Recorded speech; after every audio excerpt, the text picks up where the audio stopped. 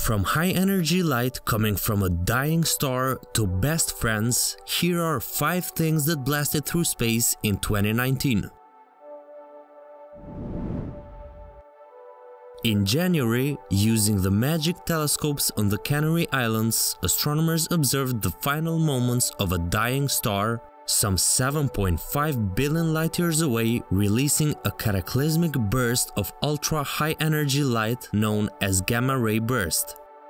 This burst carried light particles with energies of trillions of electron volts that are trillions of times more powerful than the photons from our own sun. These photons are helping astronomers understand how these particles are boosted to such extreme energies.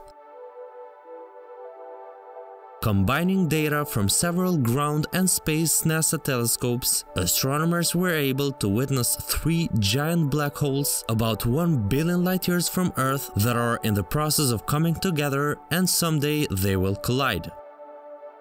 These hungry black holes lie at the center of three merging galaxies and are rapidly sucking up dust and gas from their surroundings. In August, for the second time ever, astronomers have detected an interstellar object traveling through our solar system. Scientists named the comet C2019 Q4 Borisov, and there's a high chance that this body of ice and dust has come from beyond our solar system.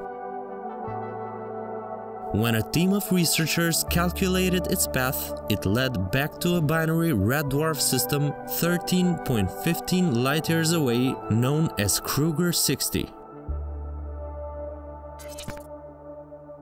In September, a space rock as wide as a skyscraper is tall zoomed past Earth.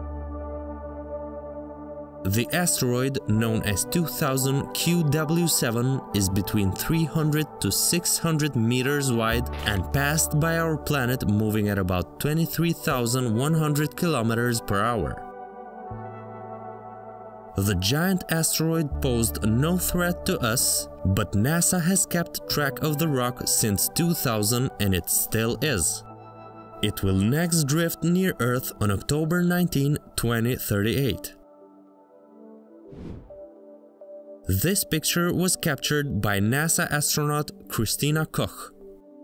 It shows the ascent of her best friend, NASA astronaut Jessica Meir, after she blasted off from the Baikonur Cosmodrome in Kazakhstan toward the International Space Station.